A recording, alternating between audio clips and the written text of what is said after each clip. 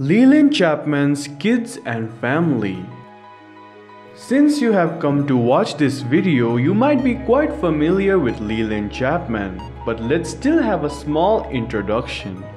If you are a fan of Dog the Bounty Hunter, you might be well known of who Leland is and what he does. Duane Chapman's son and late Beth Chapman's stepson Leland is a TV personality well known for hunting fugitives and taking them down just like his parents. He is a charming man who is married to a tattoo model having three children. Leland's then girlfriend and now wife, Jamie Pilar Worley is a tattoo model. The beautiful model was only 13 when she started modeling as her career and has True Blood's tattoos. However, Worley is Leland's second wife who he married in 2016.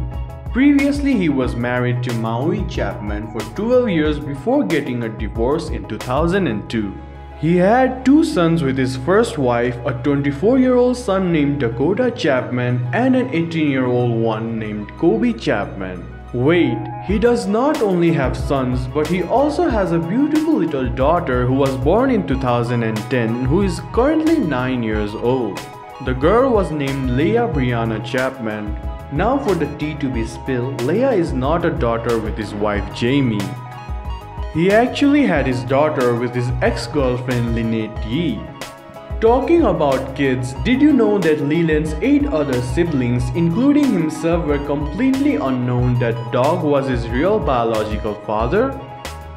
Only at 10 years of his age, Leland was cleared out that Dog is his real father and not his stepdad. Well, given that Dog was married over 5 times with 9 children alive and 2 deceased, anyone can be confused. Similarly, when Beth Chapman, his stepmother, fell to a coma, he posted a picture with her which did not include any caption. We might take it as though he was expressing his regards and love to his stepmother, though could not completely. This might clear your confusions on Leland and his family.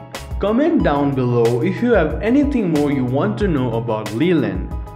Until next time, subscribe to our channel and give this video a like for showing us your love. Thank you.